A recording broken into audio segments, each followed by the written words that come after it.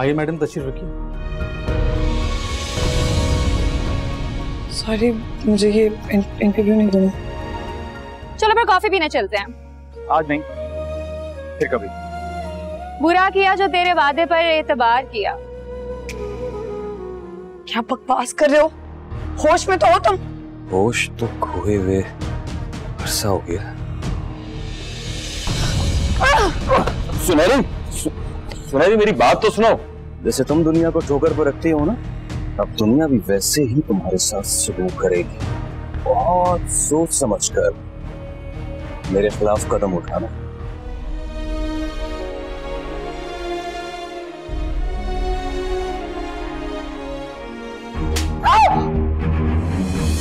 मुझे